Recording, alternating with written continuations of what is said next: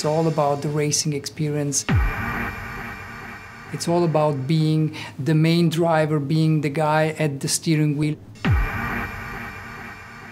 It is all about passion and emotion. I think it's just uh, incredible what we have achieved in just six, six months. I guess nobody really expected Lotus to come up with a project uh, such as the, the, the Exos project. It combines everything what Lotus has done in the last uh, 60 years. What we wanted is to try to, to get the peak of motor racing, which is Formula One, combining with the private uh, hobby uh, racing driver. The car uh, will perform uh, uh, quicker than a GP2 car, uh, less than a Formula One car. So if you want, this, this is one of the quickest racing cars out there.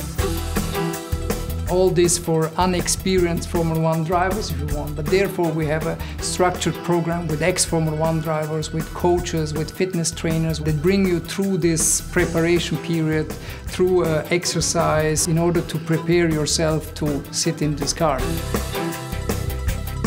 This is the most beautiful part of it. This is something that uh, many will want to have the car painted in traditional Lotus colors, traditional John Player special car, which is probably the most uh, recognizable Formula One car ever or maybe the red and, and, and, white Lotus livery or a green and yellow livery, or you just uh, choose your own livery as you wish.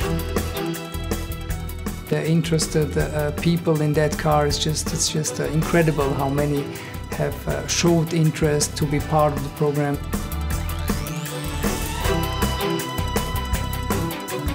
These projects is just full of passion, full of emotion, but it's also aimed at people that are full of passion and emotion. So I think this is just the perfect marriage.